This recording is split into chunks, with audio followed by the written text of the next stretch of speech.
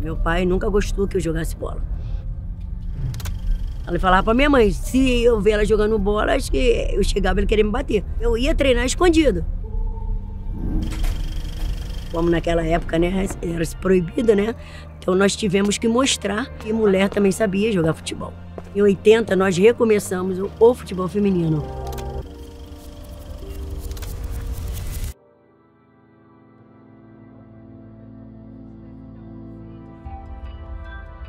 Eu queria dar uma notícia para vocês que vocês foram convidadas a entrar em campo com as jogadoras.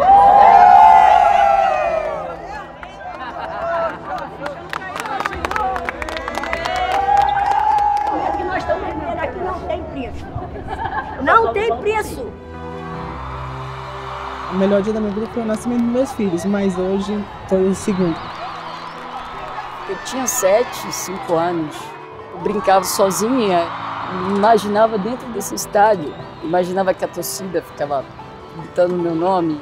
Eu já entrei dentro do campo chorando, como se eu estivesse entrando na primeira vez na minha Copa do Mundo de 88.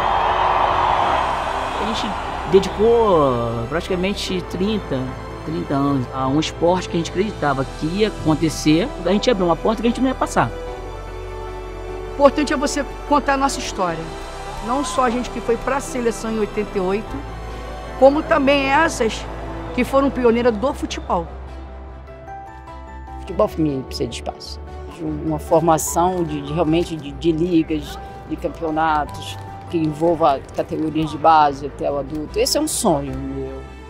A gente construir um futebol mais carinhoso, mais vistoso para as meninas.